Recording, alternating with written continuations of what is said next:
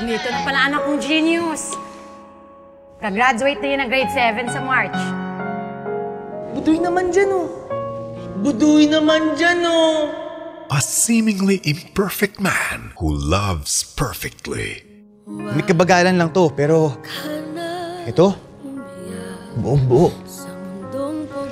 Sweet, innocent. And a family whose imperfect love drove them apart. Doon naman ang punta nun eh.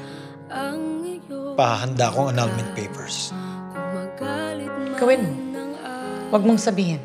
His greatest trial will bring them together. I love you, Ma'am Bessie. Tell me, sinong gumawa sa'yo nito? Hayop na Alam niyo ba kung gaano kabigat itong binibintang sa inyo?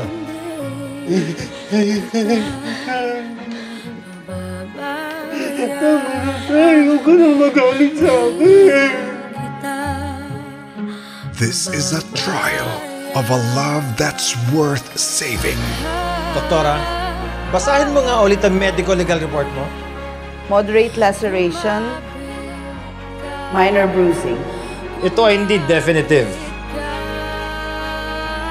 Objection. Overruled!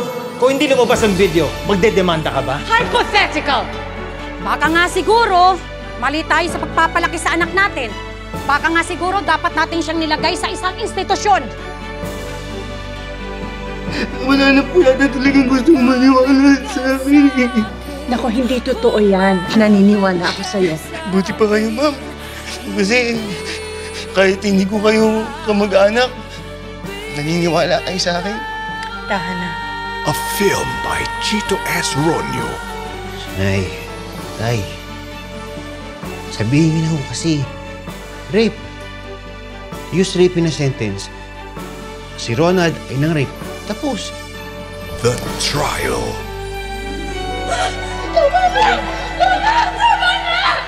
October 15 in cinemas nationwide.